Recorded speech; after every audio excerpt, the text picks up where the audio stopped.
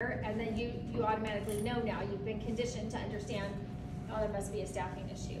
So, um, the, it is not something that we have had, um, and, and just because of our population and it's so different, but they're no less productive than your typical staff. So we just wanted to share some ideas.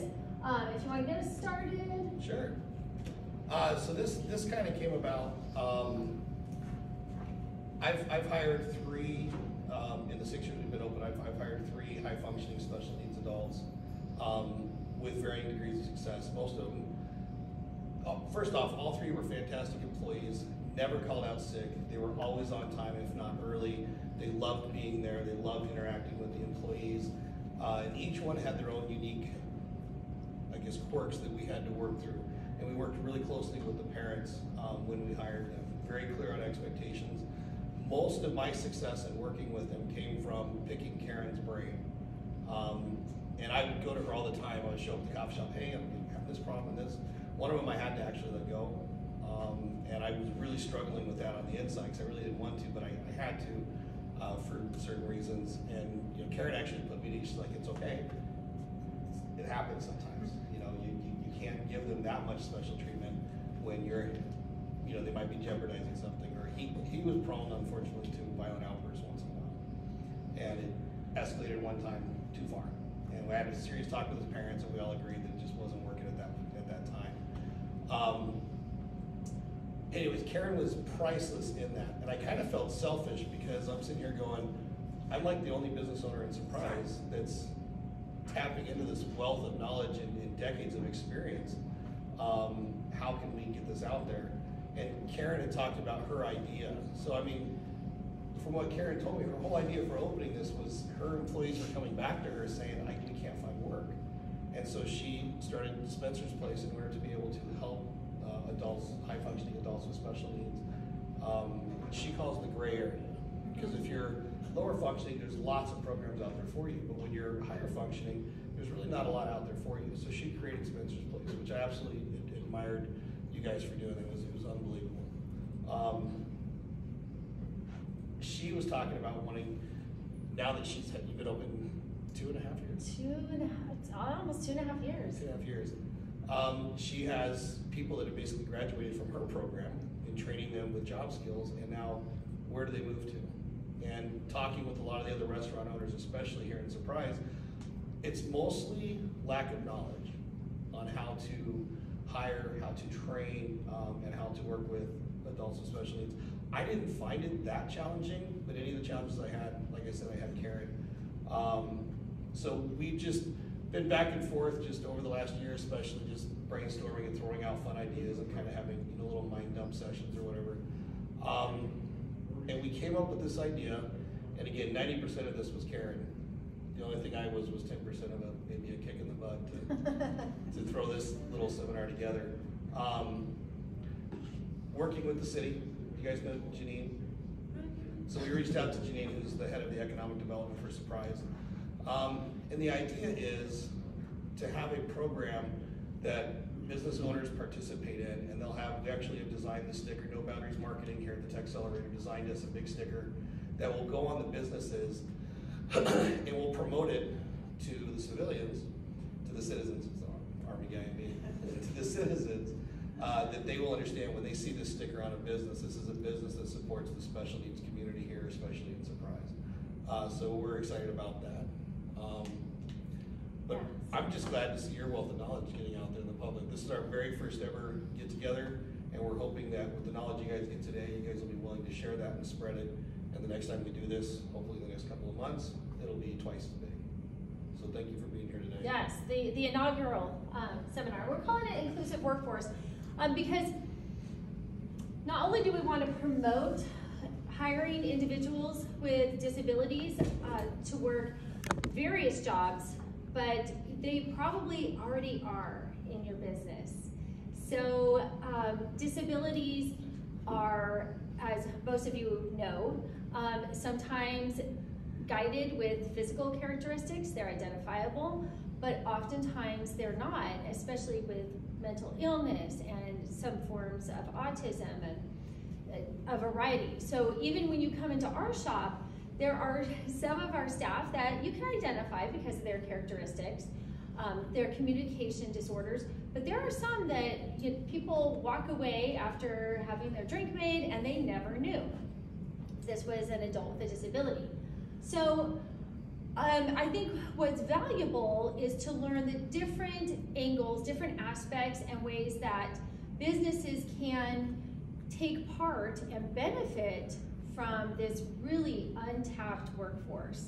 Um, I've asked Francisco to come and share a little bit because Francisco has um, some really good ideas and experience from two different angles when working with individuals with disabilities. So if you want to come up and just share a little bit from the, the GSE perspective Come. and then now your, your new endeavor, that would be Yeah. very insightful. I would love to share some information. So, so my name is Fran. Um, I own and operate uh, Special Strong here in the West Valley. We basically provide fitness opportunities for individuals uh, with physical, mental, and cognitive challenges.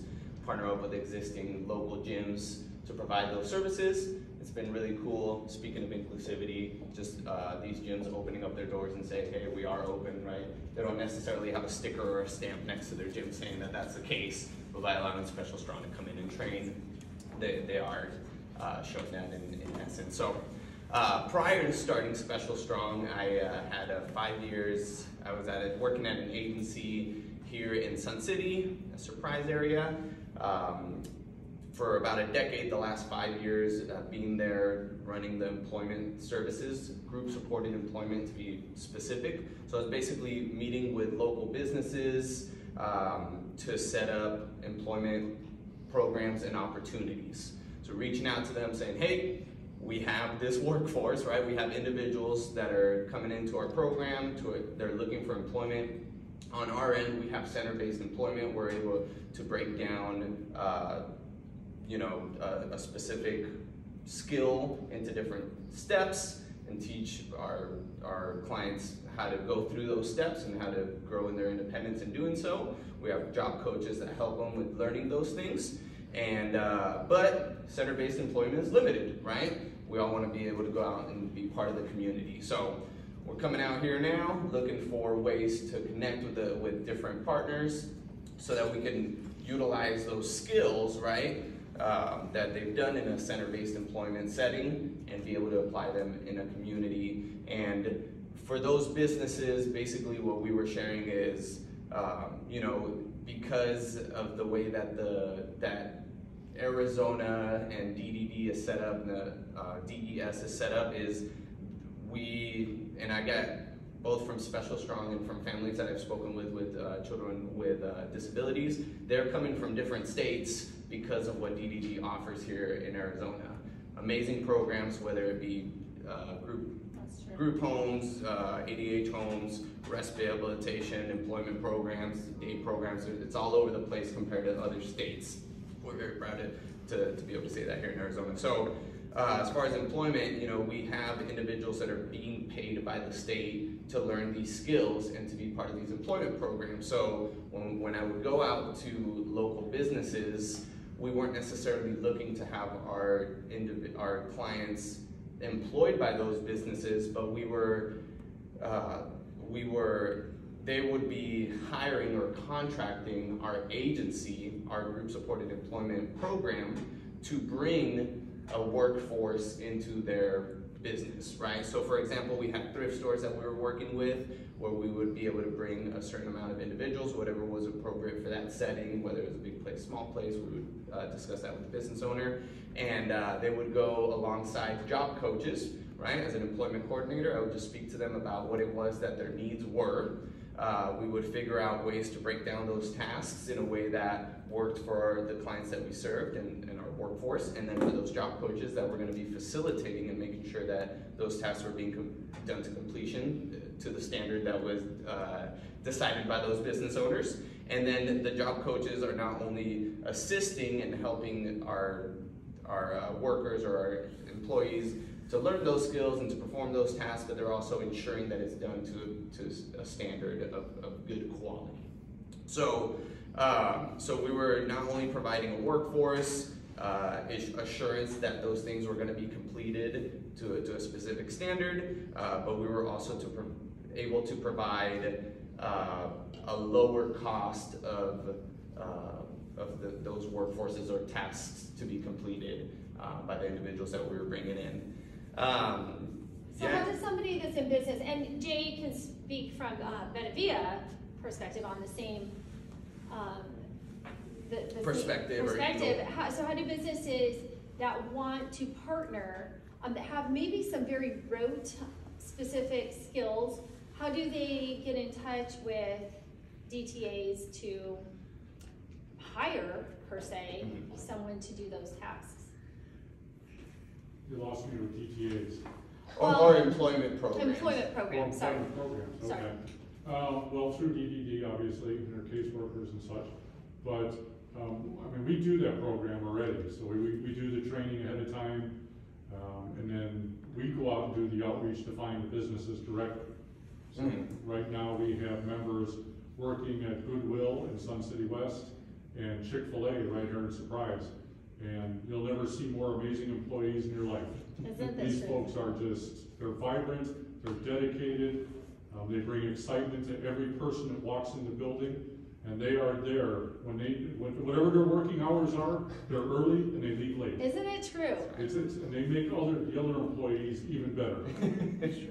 And, and, and that is something that, um, I've noted from a personal standpoint. I wanna, I wanna be my best self, my employees wanna be their best self, and it's just contagious. The, the empowerment, the energy, it's contagious. You can't help but be energized when you are working with someone who just laced up their shoes and ran through the door and said, I'm here Right. at seven o'clock in the morning and, you know, lets us know that they've been up since five and couldn't wait to get to work. Or they come early and ask if they can just hang out until their shift starts. Um, it, it's like nothing you'll ever find or experience. They'll work for free. I, yesterday I had an employee call in and I asked um, Alex, which most of you probably know, short little Alex. I said, "Hey, Emily's not coming in today. Do you um, do you want to stay?" And she goes, "Yeah, I'll just volunteer." Well, okay, even better. And I said, "Are you sure?" She's like, "Yeah." So, um, yeah, I mean, where does that happen? That it's just incredible.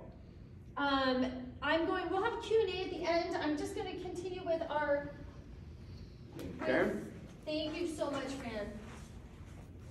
I'm gonna move on to just a little snippet of some of the feels when the media captures um, what happens in the shop. A cup of coffee. Well, in today's Community Connection, folks from all over the valley are pouring into this special coffee shop in the city of Surprise, where baristas here are percolating with purpose. Welcome to Spencer's Place. Spencer's Place is more than a coffee shop. This is where coffee lovers come to perk up, and not necessarily from the coffee.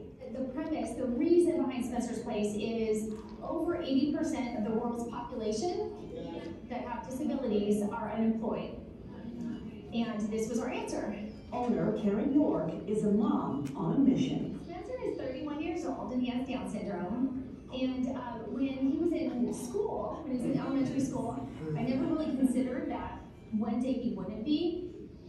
So when he entered high school, um, I had a full-on panic attack. I don't know what happens after high school. And I was a special ed- education teacher, but still really didn't have any idea as, to what happens to adults once they graduate. Karen quickly turned her panic into purpose. So, um, did a lot of research, did a lot of planning, praying, the whole gamut, and decided that I love coffee, I know coffee, and this was going to be my response. You guys are amazing. We'll celebrate next Wednesday. A response Karen's been brewing for years. It started while in the classroom, teaching her son Spencer and other special ed students how to grind after graduation. I take a little bit of pride in my high school um, days because I trained them to move and transition as adults into a job. And would that be okay, you guys?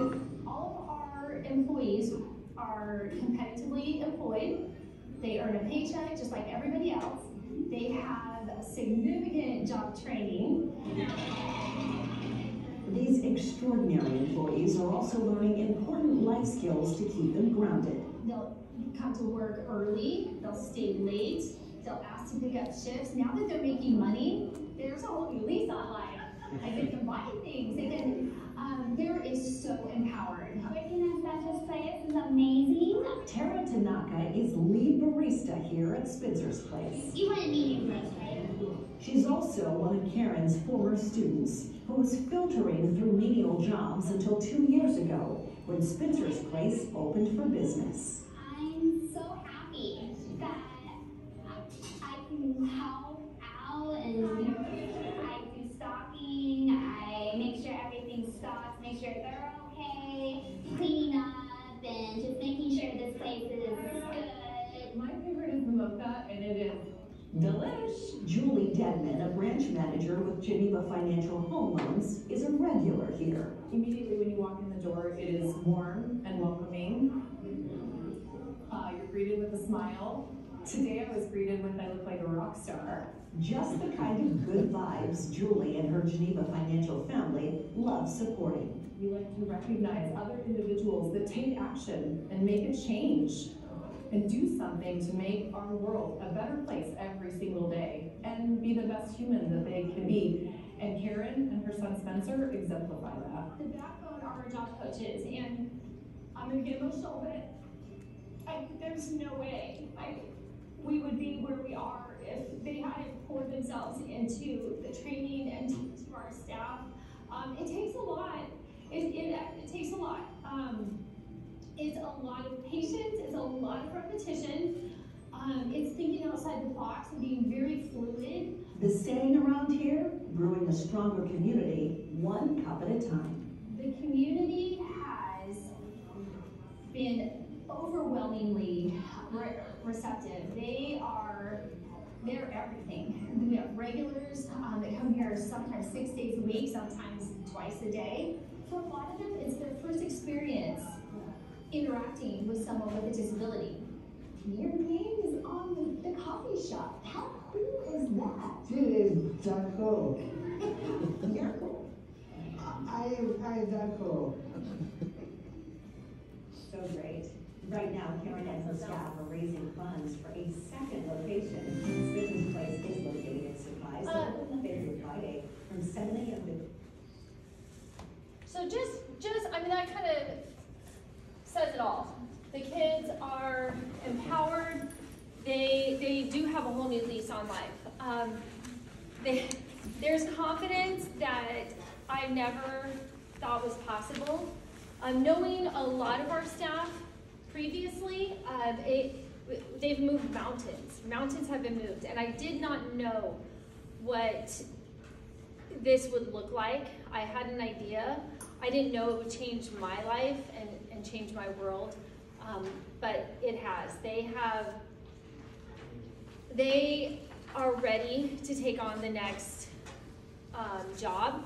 Uh, we've always wanted to be a revolving door, and um, we can't get rid of our staff. So we, we definitely, um, that's a good problem to have, but we don't have room for, for new employees. They have been trained up and they're ready to go into other jobs now. I feel very confident that they, they have the work ethic, they have the skills, um, they know, they know food really well. They know what you can't do and can't do. Um, we're pretty crazy about staying on for everything, um, and they, they'll catch us even sometimes.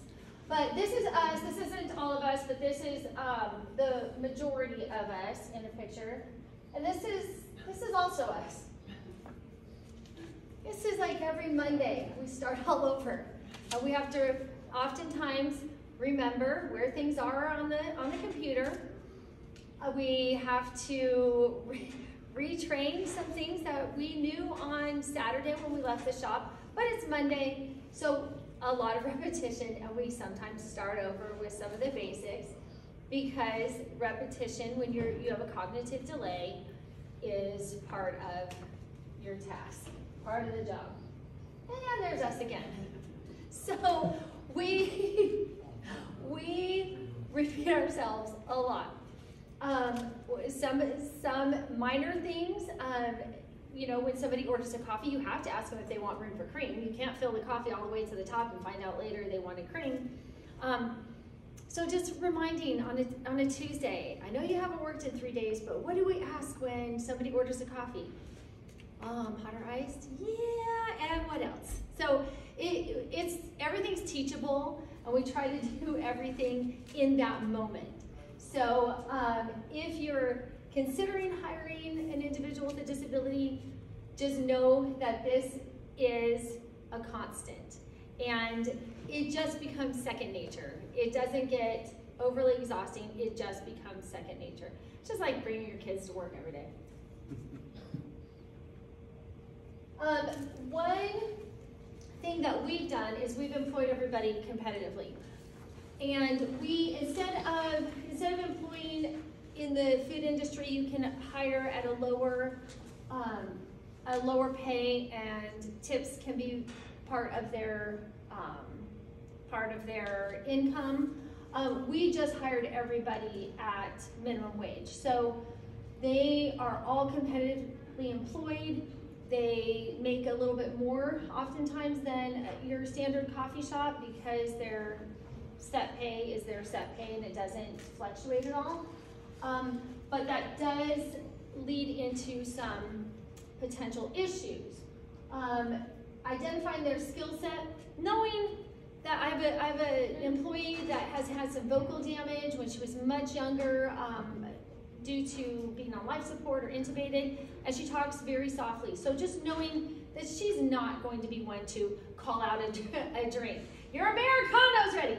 We've, we've got a job for her, and it works beautifully. Um, didn't know that this former student of, of mine would have the capacity to, to bar assist. She sees a need. A bar assist um, takes our utensils as soon as we're done and they wash them and bring them back. I really had pinned her for maybe standing at the door and waving at people and smiling and um, being a greeter. And she, she surpassed my expectations. So um, developing an individual plan, knowing who your employees are and feeling them out, just really understanding what makes them tick, what they need specifically. And I go into it on another slide, but it's really important to, especially with behaviors, if an employee has a behavior, um, I now ask everyone, how do you learn best? What do you need?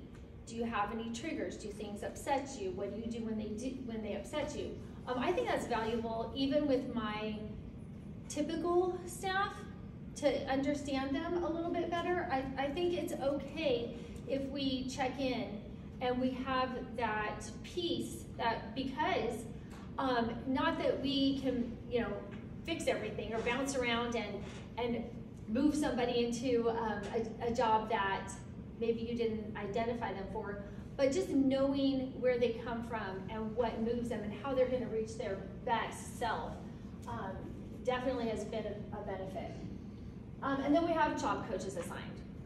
So the job coaches, this, this piece does maybe potentially cost a little bit more because we have job coaches that oversee our workforce, but it keeps productivity at, at its highest effective rate. We are paying a little bit more because we have job coaches, but we're producing a lot more as well. So I think in the end, it is um, beneficial and cost effective. Um, this untapped workforce has a strong work, ethic, like, like Jay also pointed out, minimal sick days. Um, they seek clarification with everything. And that can get um, some mind numbing sometimes. What do you want me to do next? What do you want me to do next? But we, we have strategies. Um, don't ask me what to do next. I want you to see a need and fill it. So I send out weekly uh, our focus of the week, and sometimes that's see a need and fill it. Don't ask. I want you to see a need, and then we'll remind them. Uh, they're on time, very on time, uh, very precise. They want to do things well. Um, they're very driven they have this new found adult life that they probably never thought was possible. The bulk of my um, staff were at home, mid 20s, seeking employment on their own, very capable, but never given a shot, never given an interview, never given a chance.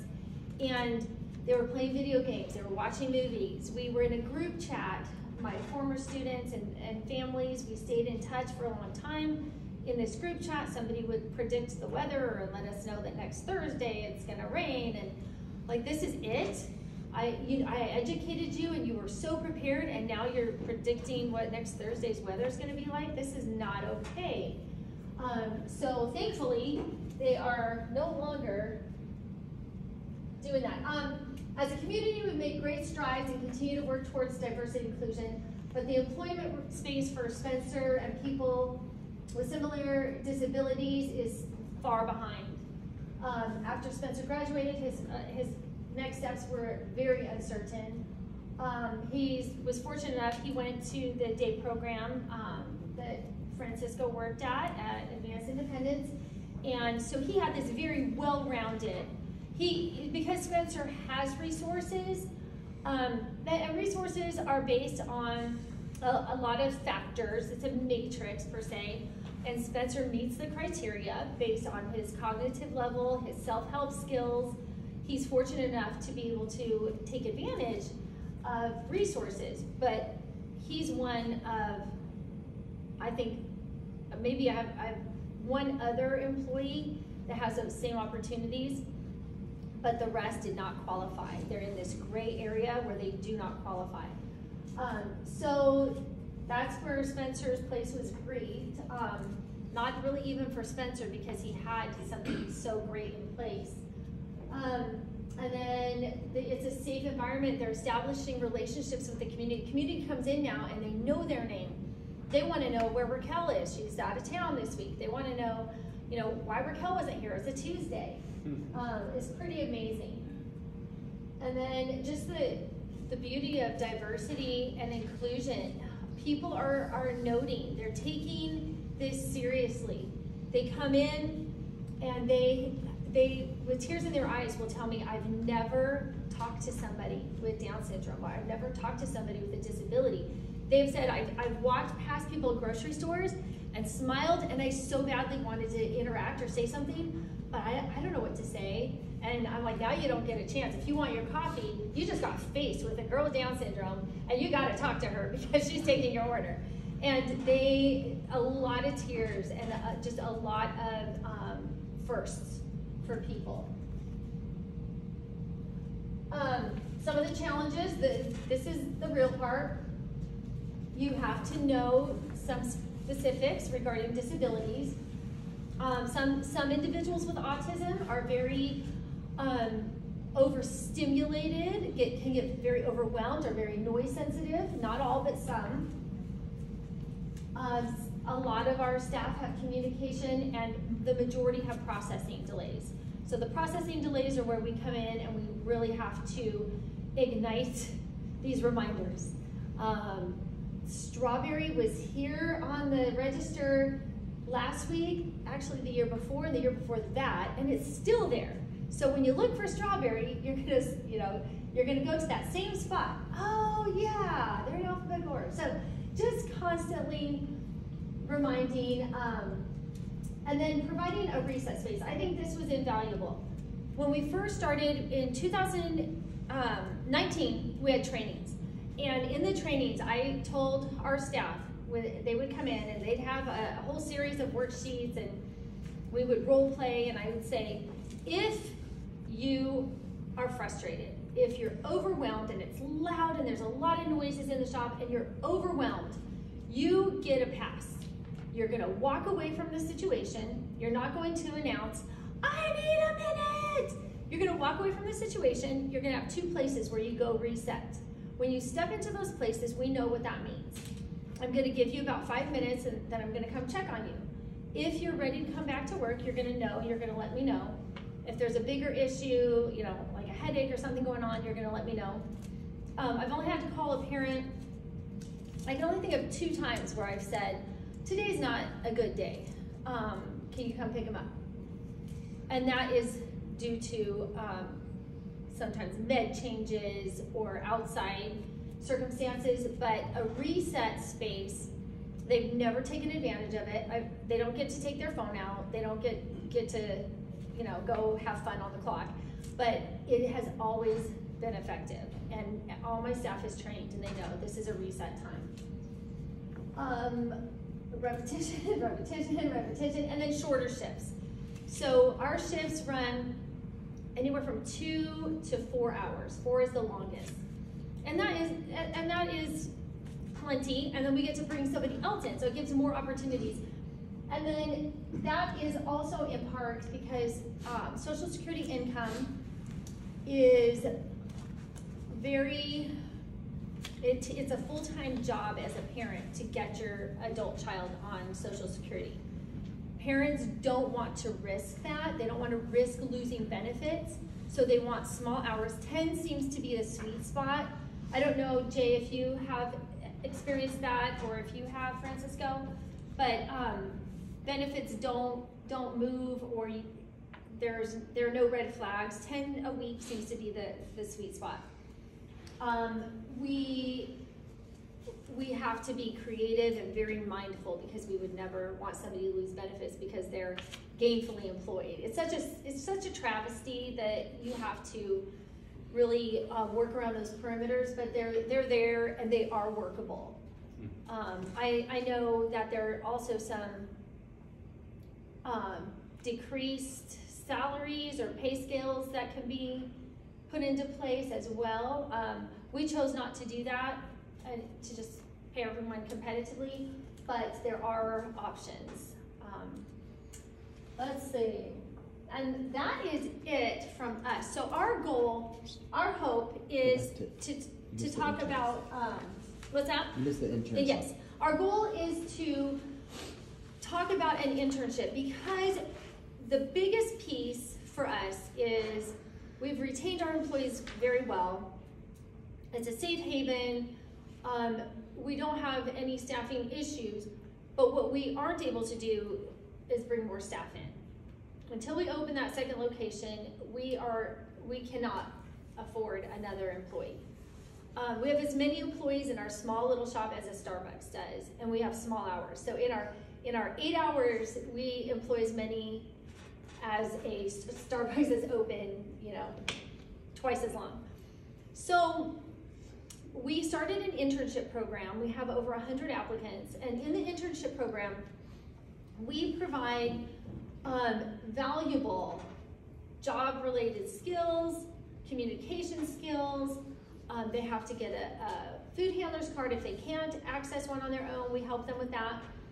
But they come in and they shadow one of our staff. Um, they start with a tour and introductions, and then we kind of test them out, see where, where they can go, and move them into some of the roles. And it's a volunteer position, it's unpaid.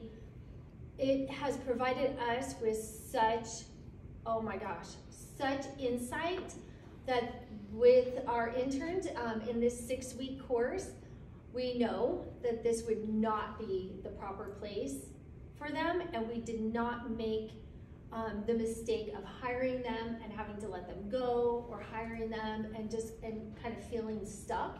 So the internship, you would be surprised. There's nobody that has said, "Oh, I don't want to work for free for six weeks. No, thank you."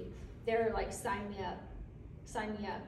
What we want to do is take in the interns, place them in um, participating businesses, we, we feel pretty confident that we can partner with uh, businesses and get them ready and send them out, as well as some of our current staff right now. As, as hard as that would be, um, there, there are some that need to leave the nest. They're ready. Um, so thus far, we've been able to place some of our interns um, and one has gone to Macy's and works at Macy's, um, two at Popeyes, one at a, a, local hotel. One was able to enter um, college and is in an adaptive college program at Concordia in Wisconsin. Um, one of our employees went to Amazon and um, it was too fast paced, so of course we took him back. but but they're at least moving, and they, these are these are individuals that were, would never ever have taken a chance. So um, we would like to offer internship programs, or where where you are even starting an internship piece. Um, they're willing. They're willing. If, if at the end of the six weeks they know that they're either going to get a certificate of completion and a gift card, or a job, or their application, we keep their applications on file and we tell them as soon as there's an opening, um, you're on track to be hired. So, yes, sir. Was there anything from the state or federal government for creating an internship program that you had to adhere to, or? No, nothing at all. Nothing. Um, what we what we have been able to do successfully though is write a grant for the internships, and we get a small portion. The city of Surprise is so generous and and backs businesses very very very well. Um, and we we write a grant. It's a reimbursement grant, so we are able to get a portion of this reimbursed because we do have to assign a job coach specifically to the interns. Um, we can't just just throw them into the mix and cross our fingers. So we do have job coaches assigned to them. So it doesn't cover the, the job coach's salary. It cover, covers a, a small portion, but it, it's better than, than nothing. Um, let's see. Did I get all the slides? What was your? Go back one. Go back one? Did I miss it? Yeah. Oh, there's the internship. Oh, so this this is just a few weeks ago. This individual, um, and you can read for yourself. He says, and he sends us this. We get a lot of uh, Facebook Messenger. Um, I, I, guess it's easier than calling the shop or emailing, and, and you don't have to be seen. I guess.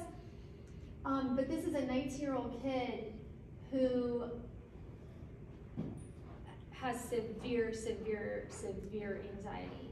Doesn't leave the house. Um, is terrified to work. Has tried to work at multiple different places and lasted three days is the longest. Um, is not cognitively delayed. This is mental illness, and he started yesterday. Started our internship yesterday. We started him with one hour a week. Um, did a great job. Kept saying, and we start our interns in the afternoon when coffee time is kind of over and it's a quiet place in the coffee shop. And he just kept saying, wow, it's so chill in here. So, and I informed him of the reset um, rule, and he's like, he almost, he, 19 year old kid who you would never know has a, a disability, um, debilitating disability.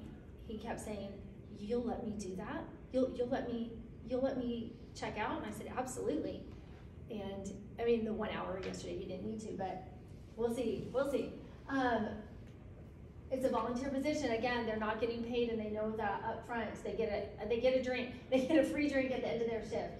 Certificate of completion, and then we retain their application for potentially for hiring. Um, it's, it's really really good. You can you have that clause that at the end of the six weeks, it's it's a see you later.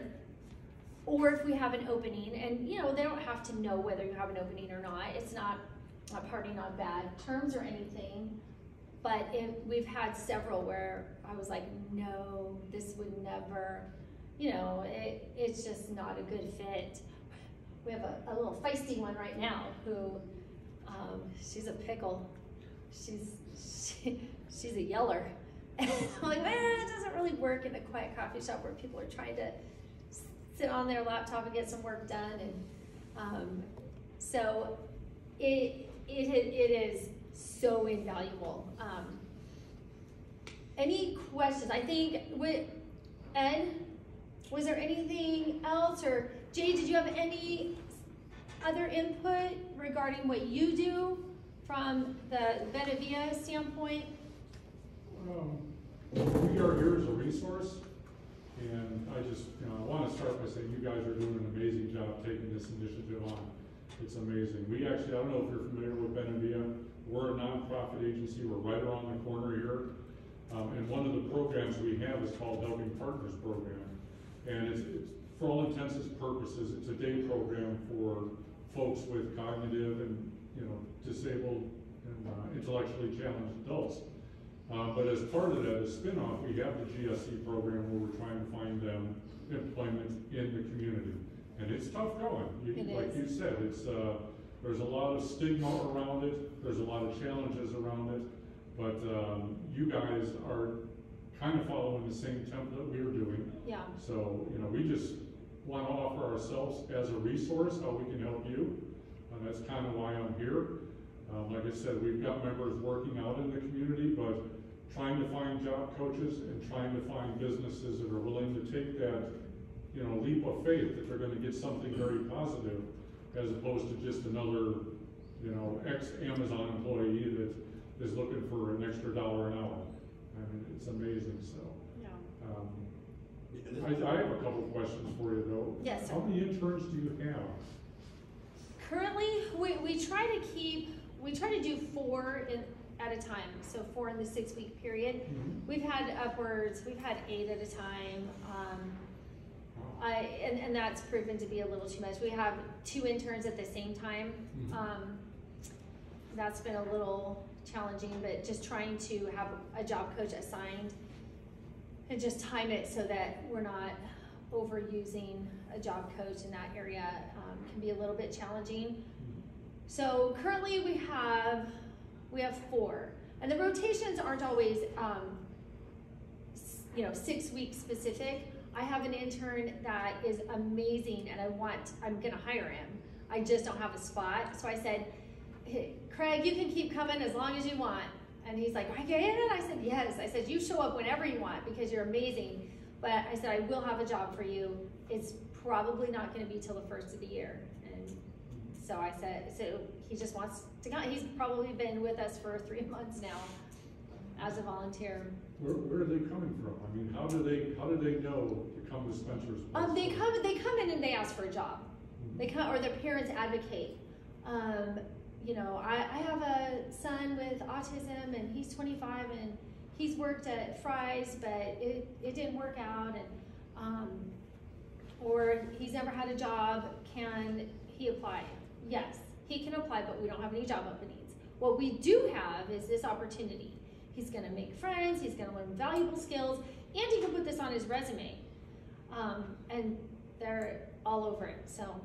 Yeah, that, that's a great point. I don't think that gets stressed enough is this goes way beyond the job itself and learning job skills. This turns into huge amounts of life skills for these members. I mean, they, they develop just things we take for granted, whether it's financial skills, relationship skills, you know, just regular living skills. They blossom once they have a, a position. And it's amazing to watch the- how fast they really do grow. I want to back Jay up on that. Um, one of the autistic kids that we hired uh, in the beginning had actually gone to school with his dad since kindergarten, so I'd known his family for a long time. He came in yesterday and he worked with us for a year before he left. And he went and started his own business. He would always ask me questions about how do I start a business? How do I do this? How do I? It, the name of his business is the Poop Fairy. I love it. Everyone they- needs a poop fairy. They go around and clean up dog poop. Yeah. He now has twelve employees. That's amazing. So him and his mom started the business together, and he has twelve employees that work with him, and that's all they do. They have accounts all over the West Valley now. I love that. Makes more than. I do. Wow. Wow. But he came back in yesterday to talk to us about it. I knew they were doing it. We did a bunch of marketing to help them out in the beginning, and then it's just taken off for them. But, That's amazing. but like Jay said, they come, they learn these skills, and they, And, they and that's the hope. That's the hope. You can't, we, you, you can't stay in the coffee shop forever. We've got to move and have the revolving door. Um, and the one thing that I didn't talk about because I don't know enough about it, um, are, there are tax and payroll breaks and benefits when you hire an individual with disabilities. And, um, I think that. I wish I could talk to you on this. I, unfortunately, I'm just a marketing director over at Benevilla. We, because of how much need there is in the community for this, all of our programs are, you know, employee tapped out. So we're just trying to get census every day. So The gal who actually runs the program and our program's director were going to be here today, but they had to stay on site. So we had enough employees for the amount of members we have. Mm. Right. That's something you have to do, so I Right. apologize for that. And also my lack of ignorance, that I'm not, I help with the program as much as I can, but, but there is, there's tax Yes. stuff. Now, Is it Bob or Bill? Dan. Dan, Dan, I'm sorry. Dan, are you familiar with some of these uh, Absolutely. potential write-offs? Um, one that really fits to everything you're talking about here is called the Work Opportunity Tax Credit, or WOTC. Mhm. Um, you can get eight, nine, ten thousand, I'm not sure what it is right now, per employee. And it's designed to encourage hiring people who might not be viewed as your primary hires. So if someone serves some time in prison, um, or disabled, uh, there's a lot of different things. Some, some of the qualifications are territories, so if there's a, an area that's viewed as suffering economically, there's a number of, uh, things that qualify, someone that's disabled would qualify and the employer would get a, a large tax credit. The only problem with it is it's very time limited, so you have thirty days to do it when you hire the person. But if someone's going to do that, I can get them set up so that they have a one-page sheet. They fill it out when they hire someone, uh, give it to me, and they get the credit. And, and, you know, I, I was just trying to get the business started and open, and we had so many roadblocks.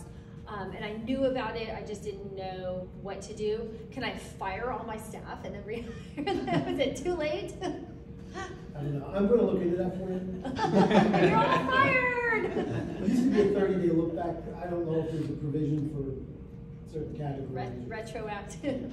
Exactly. But some, but something that businesses really need to know, because I've heard that from so many different people, and um, I, I, you know, I'm ready. I'm at a place now where I think I, my head's above, a little bit about water, and I can Well, I actually. think As a business owner, it makes it harder with this, in just my own opinion, insanely forced high minimum wage. You know, when, when we, when I first opened Firehouse, we had the extra income to hire somebody who may not be as high producing. But the higher the minimum wage has gone up, it's forced us to do more with less employees and to make our employees more efficient. So it's, Right. without tax breaks, without tax credits, it makes it harder and harder and harder for us to employ, uh, adults with disabilities. Right. But if you had, if you had that knowledge Absolutely. and had somebody that can help with that, uh, what a game changer. And that's, that's really our goal with all of this, is to bring the education to the business community here in Surprise. So it's no longer an unknown, it's no longer a- fear, um, you know, in, in hiring someone with it, that we have all the knowledge and the resources, uh, to be able to make it happen and plug into this, really this great workforce. It is such a great workforce.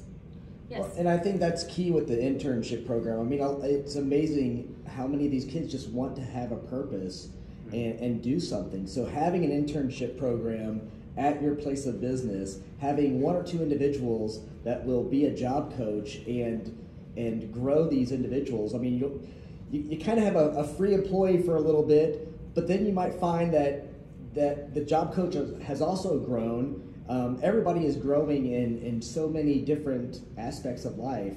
Um, but also, you, you might have a new employee as well at the end of that six weeks. So, um, for us, having that internship program has really been key on, on kind of weeding out, but but also growing everybody on on staff and and individuals with disabilities as well. So um, it does cost a little bit, but in the end, it, it's a huge return on your investment. I mean, you're going to get a huge return. And I think too, uh, from the interns that we have hired, that went through the intern process and then were, were awarded um, with a job, they have they have a different outlook as well. Um, they they had to earn it, and I'll never hire anyone that doesn't go through the internship piece again ever.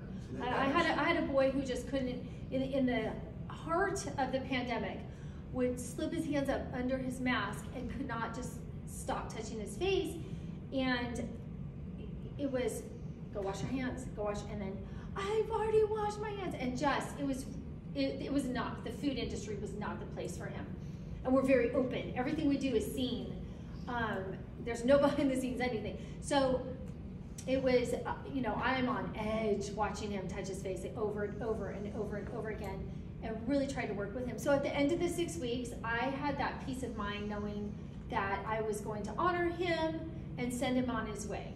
Um, they, there weren't even, you know, we do our own labeling um, as opposed to paying for our coffee cups to come in with labels on them. We made sure that we have a job that's kind of behind the scenes where somebody needs to sit, they can stamp the sleeves, and we have other jobs like that. I, I couldn't even really entrust him with that because he was just, you know, violating um, that piece all the time. But having that internship, just knowing that, okay, three more weeks, three more weeks of frustrating him, telling him he has to wash his hands, and then, then we can be done. But honoring him in that as well um, has been so good. And And now he has a job, so, yes. Um, Bob and Lisa, do you have any input? I know that you're thinking or talking about maybe having some of your cl- I, what do you call it? Patients, clients? What do you? Clients. Clients? Um, We, we've always, I love the, the idea of utilizing, um, a program like this for our therapy is something that, you know, we, uh, one thing I think about is one of our therapists, she created a class she calls the game of life. And Lisa probably knows, know, what life stands for, but, um, it's the lines of training life skills of Yeah. adults that higher functioning and ready for life, uh, as an adult when they move out. And so, my first thought was having someone that could, that, because she also needs an aide in her class. I think what better person would be someone from your program that could Yeah. and be the aide with Hannah when she's teaching. I think the class becomes so successful, we've now split it into higher functioning and lower functioning. wow. It's, it's, um, and I think that's another Avondale location we've done that. So, And so necessary. That um, you, how do you know? None of us knew what the heck we were doing when we transitioned into adulthood. So imagine. I'm still, yeah. Let us know when, when you get there. Um, any other questions? Yes. Can you talk a little bit more about the job coach? So Yes. is there a certification? Is that something an existing employer could just take a, you know, an employee and say, hey, you're gonna be the job coach and you're gonna go through a program? I mean, how does that, or do they have to hire? That's a great question. So our, everyone that we hire is a job coach slash barista. Uh, we have a assistant manager, and we have a manager, and everybody has to share in the same jobs. Um, we all scrub toilets, we mop floors, and we um, make drinks, not in that order, not in that order. Um, but we, we are all trained to work with our staff. Um, there, there, we do have quite a few that are teachers or former teachers, which it makes it just such a nice, easy transition. We even have a couple that are special ed teachers. Um, but in order to be a barista, you are also trained as a job coach. And that just involves, um, in, in the beginning of the hiring process, I had like a 45 page handbook that I made. Um, my poor inaugural staff. so in, in, in that, I listed out um, what is autism, what is Down syndrome, what is spina bifida. So just an overview, I think, of a lot of the disabilities and then, you know, some of the stereotypes that might coincide. And um, it was it was a lot. So learning on the job has been probably the most beneficial piece to it. Uh, we have a mom whose daughter has a disability that is working with us, and um, and then I have a high school kid. She's one of my athletes um, that that I coach, and she came in and I picked her because I, I was like, Ariana, you'd be really good with the kids, and she's amazing. So uh, that that has to be part of the process, the hiring process. Is you're going to work with some individuals that have disabilities, and this is what it's going to look like, and this is what you know. We're all going to have these responsibilities. So, fortunately, it's not just one you know, one one barista, one cashier, one job coach. Everybody wears that hat. That's a good question. maybe that's part of what we can do with this, is once we have enough, uh, employers that are involved, maybe we can put together a seminar. I'd be happy to sit, I've got three or four employees in mind right now, just us sitting here talking, it would be fantastic, and maybe we just put them through two hour. Training program. Yeah. Oh. place certification. Uh, job coaching, training program. Absolutely. Absolutely. Um, you, it's amazing how they, they come alive and how that innate compassion and empathy and, um, you know, uh, uh, one, one example, one of my employees has never worked with someone with a disability, had never been around someone. And I knew, I knew she was gonna be good. I just knew. And eased into it, asked a lot of questions, and she is, she's on fire. She's just on fire. Yes, sir. Yeah, and the, I, I just wanna back you up on that. Um, I, I met this guy, Mike, um, years ago when I was in the fire department, we were called for an unconscious person, and it was, it was Michael, it was the first time I met him. Um, homeless guy, schizophrenic, um, Right. had started using meth as a way basically to self-medicate. Mhm. Um, and we worked with him in the fire department for years, he's just a sweet guy.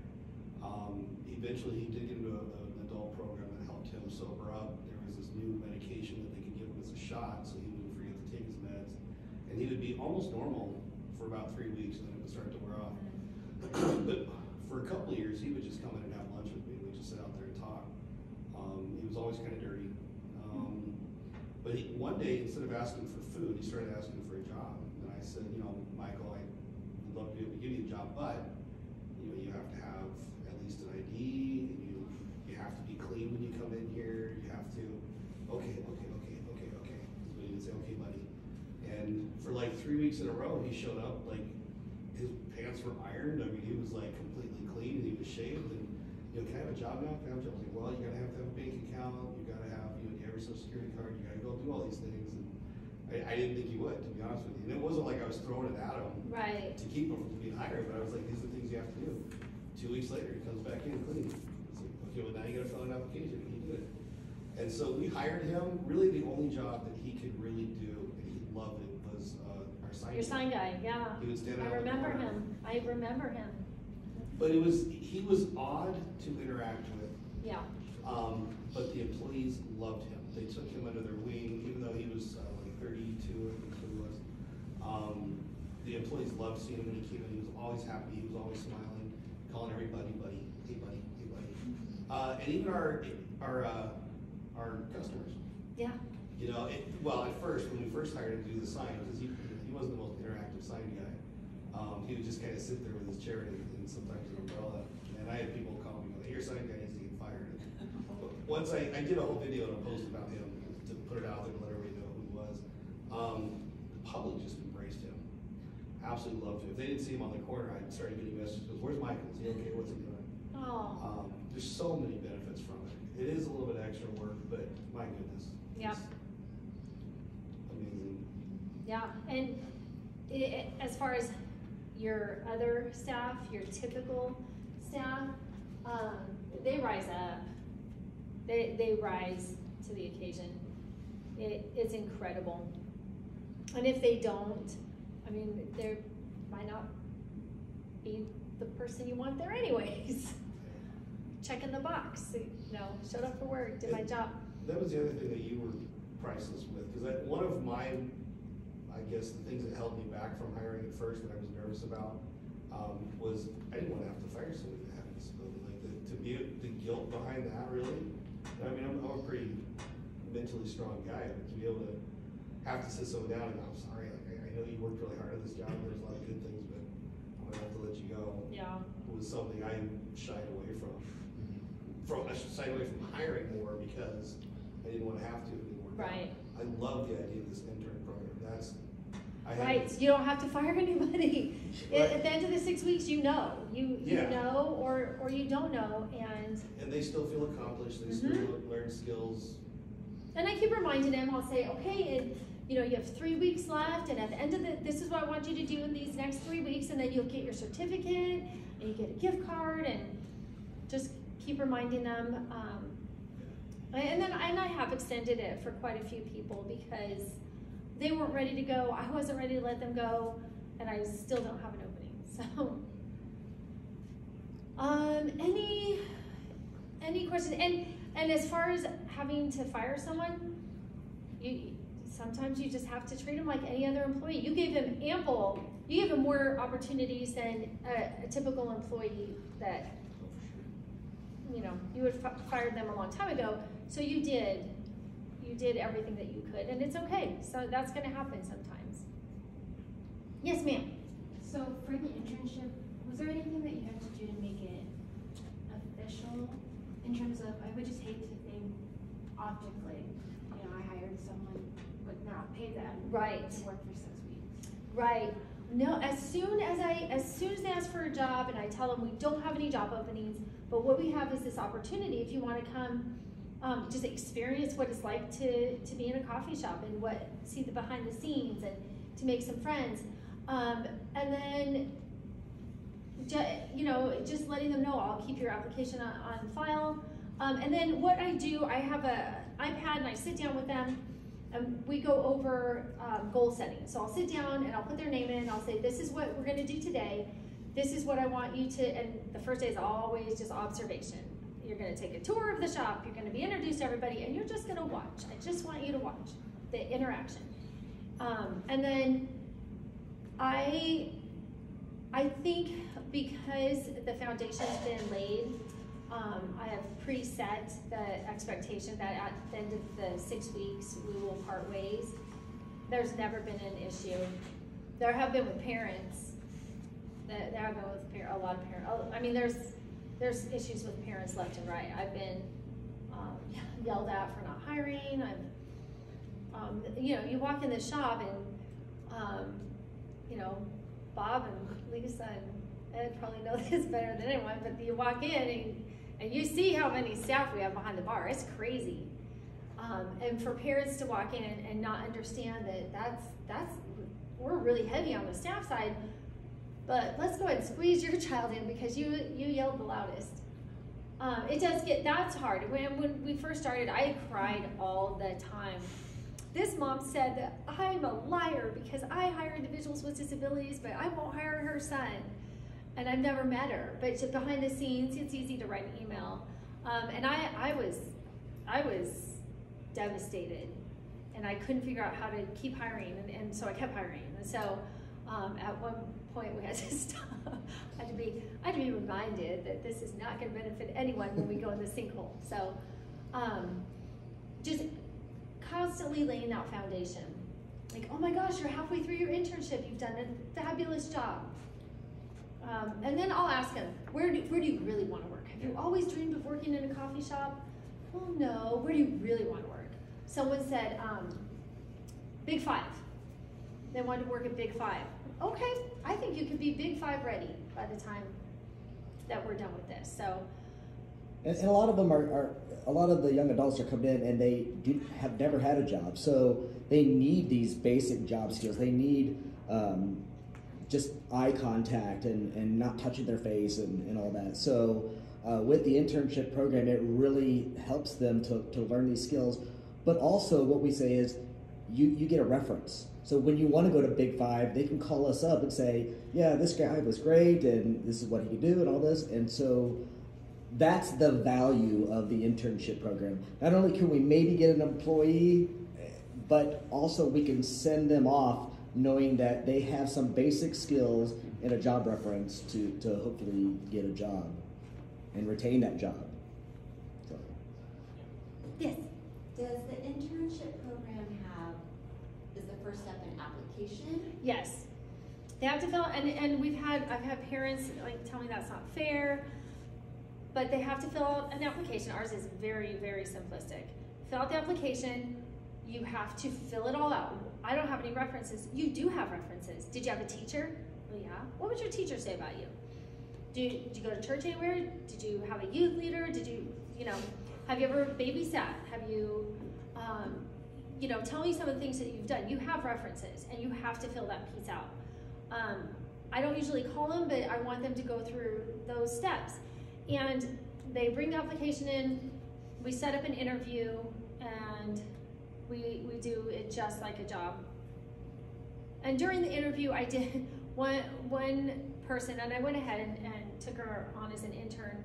Um, but there was one person that had been hospitalized for um, uh, maybe violence. I don't know. I I don't know. There's so much that you know you, you also have to be very careful with because of FERPA and things of that nature. So um, I just I was like I'm going to keep a really close eye. She was fine, um, but she had definitely some pretty significant behavior issues because when she told me the school she went to, I know um, from my background that that's a pretty pretty strong behavioral school. And then um, she would say, "Oh, I can't. My ABA therapist is coming over. I can't work Thursdays because I have my and I, I know that that's a behavior." And so um, I went ahead because I she interviewed well, and I thought I would give her a shot. But at the end of the six weeks, it was goodbye for sure, for sure. And then there are interns I've said, no, you know, um, I'll call you and never, you know, have hired them or brought them in, I guess, because um, there are some that it's a definite no. Um, in, the, with the food, there I have a, a young man who really wants to work, but he he drools. He can't control um, the motor function, and I can't do that at the shop. Cannot do that. So. Yeah, I mean, there's always some no's, and that's just part of life. And I, and I and I would create jobs all the time. I'd say, okay, he can't do that, but we can have him outside picking weeds and cleaning. it, You know, he can at least wipe down tables and things like that. But there, there, and I've done that, and, there was just too much crossover um, behind the bar, and it, you can't tell someone, oh, you are just, you need to stay outside the whole shift because you drool. Um, just don't want to ever hurt someone or or do that. So um, it, it's definitely not charity. I, I, I, I want to say it's not charity. It's not, um, I'm going to bleed myself dry for you. Um, I'm a bleeder and I'm, my skin's getting thicker and I'm doing a much better job at um, saying my best yes and my best no. So um, I would definitely say that it is, the internship piece is still not for everybody. I got kind of tricked into a few high school kids, and we only hire adults with disabilities. And you know, didn't know they were homeschooled, and they they they looked like they were older, whatnot. So um, when they said they're out of school, what they meant is they're out of public school, and they're still in school. And um, they, if you're in high school, you have all the resources you need. You have friends. You have field trips, you have Special Olympics, you have great resources, you have teachers, you have all the things, and, and that's been another um, issue with parents is not hiring teenagers.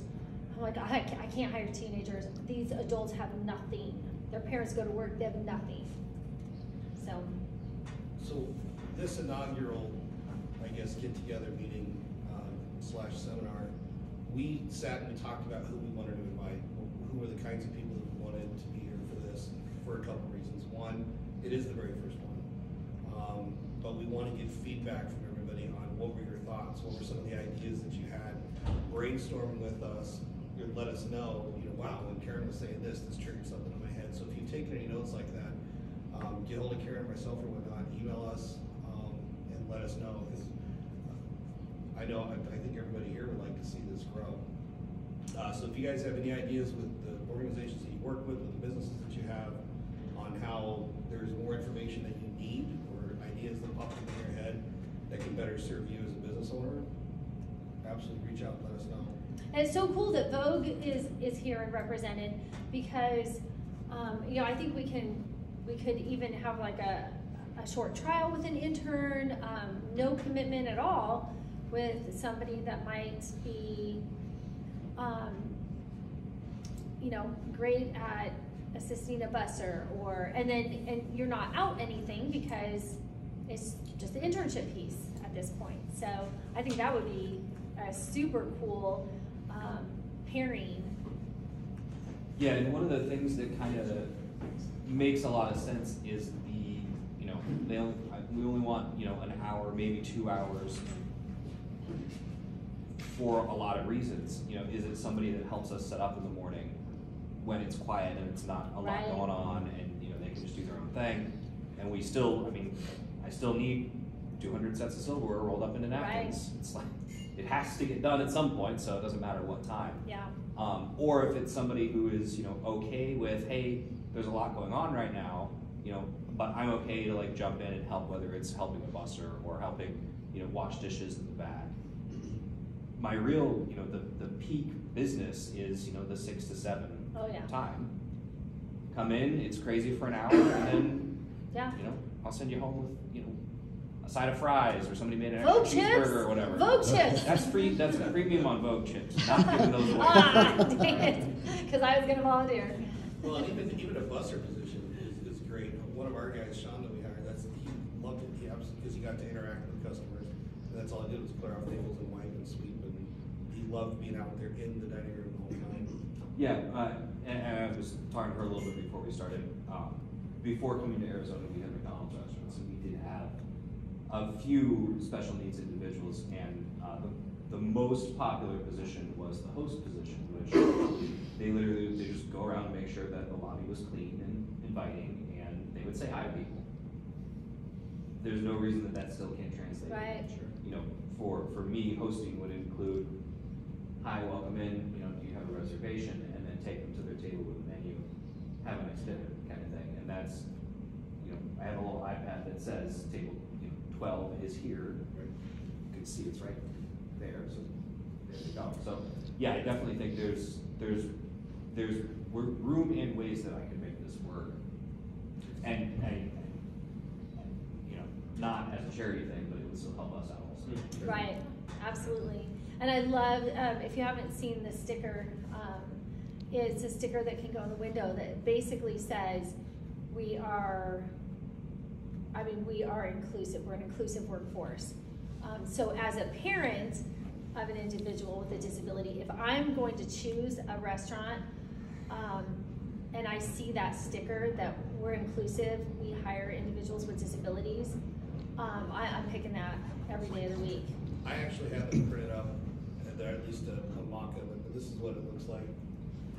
And for businesses, I think breaking down that, that barrier, breaking down that stigma, breaking down the fears of hiring uh, these these individuals um, is key for the business community. I mean, as a before I knew this wonderful individual, I mean, I, I had never interacted with somebody with a disability, and and it, honestly, it was fearful. I was I was afraid, and um, but as time goes on and, and all that, you you learn about these individuals, and they're just the same as as anyone else. But it's just breaking down that that barrier and and educating people and business owners. I mean, especially I mean with all these uh, the industry coming in, uh, these adults with autism with their their rote, uh, just kind of robotic way of doing things. I mean, it's ideal for, for these individuals. I mean, even just doing the napkins thing, they will do it one way and will not stray from that. yeah, yeah. It, the silverware will be placed exactly how it is, and but that's how their mind works. And I mean, for Ball and for Red Bull and all these other um, places, it's ideal. So we just have to break down these barriers and, and hopefully the, the stickers, but getting it out into the community that uh, there's a workforce out there. You just need to have a little patience, have a little time, and, and be willing to to It's an let the guard investment. down. It's just, it's an investment. But it's a huge return on your investment. I, I guarantee it. I, I do have to give kudos to Mr. Amos back here. It was No Boundaries Marketing that designed that, that logo for us. It's so good. I, it's so good. I love it. You guys did an awesome job. And I don't have green tea, Chris, but I do have black tea. I know, I'm sorry. My green tea bill was through the roof right I know, I know. What were you gonna? So, question for you, and again, I'm sorry I missed a lot of this, but, you know, um, our experience, we, we did hire somebody with a physical disability, she actually still works for us, she works from home, she does phenomenal work. Um, you know, as an employer, what is the appropriate way to go about talking to somebody that has a disability about their limitations or like, that's always been my fear as an employer, is what's, what are the boundaries with that? And how do we go about approaching, because I have like, I have found, you know, we've had interns with autism, uh, we're part of ASU's, uh, internship program, and they've been phenomenal writers. Yeah. Like, we have found like an extreme amount of talent there. Um, so they go on to do great things, which is awesome. But, you know, talking to them about the disability, like, I'm always self-conscious about that, and like, I don't wanna violate anybody's rights. or- Right. So. I think probing, probing and asking, um, what, what are your needs? How can, how can I best facilitate, um, you know, your job? What, what are some needs that you might have? And then it's amazing how they'll open up and say, well, I get, um, you know, really anxious. I, on our screen is an individual that just came right out and said, I have debilitating anxiety. Um, because he's obviously been trained to do that. Um, I don't know if it's parenting or I don't know if it's school or I, I don't know if he's just 19 years old and strong enough to advocate for himself. But it's okay to ask, um, is there anything that, that you want to tell me about you? How can, how can I get to know you? I think you'll sense or How do you learn? or How do you learn? best? Right. I mean, and I'll, I'm not, I can't speak for my clients, but, you know, we represent a lot of businesses out there and a lot of businesses desperate for people. I know. And, You know, again, this is a perfect outlet for that, but I think, you know, again, I can speak for myself, it, it does make me really nervous to Yeah. approach that. I Because absolutely. I don't know what the rules are, I don't know, like, how that all works, and, you know, you want, you wanna facilitate that inclusive environment, and certainly there's a huge skill set there, but just that approach is really, really nerve wracking. I, I think if you um, kind of turn it on them, how, um, even if you don't know if they have a disability, because again, character traits are not always evident. Um, so you went to such and such school. Um, how, how do you learn best? What? Ask just probing and asking those questions. I, one of the questions that I ask is how how do, well do you take correction? And I had a boy say not very well. and I said, thank you for thank you for telling me. And um, I, I brought him on, but um, he did not take correction very well, and he was not wrong. Yeah. But I knew at least I had that that red flag where I knew I was not going to trigger him. Yeah. Um, and and for six weeks, that's it, and then we we parted ways. But And um, parents, parents are a great resource when talking about that, Mhm. um, getting parents involved in. I mean, is that appropriate to engage the parents? And, I mean, I, I have felt when we hire or when we go out for the internships, they wanna do things on their own. Right. And So, and, and you're you're probably dealing with a, a different um, capacity. Sure. Um, so you're especially if they're already designated interns. Um, I, I think just just probing if, if there's a red flag or if you're you're identifying something, um, just asking, how do you learn best? Do you, how how can I help you? Or I think that they will lead into that, um, as opposed to saying, do you have a disability? What is it? Um, which, I wish we could be that blunt and that forward because it would only benefit everybody. Um, but you do have to be a little calculated in in the way that you phrase things. I don't know. I, I don't know how much of a violation or FERPA or, or it is to um, flat out ask someone, you know, or is there um, is there anything that I need to know about you that that you'd like to share with me? That's always a good lead in. yeah. And, it- and if they don't, then that's kind of on them. Sure. And if they, if it doesn't work out, then they didn't advocate properly, so. Is there anything else? We have subs galore, holy cow. There's subs, there's um, iced tea,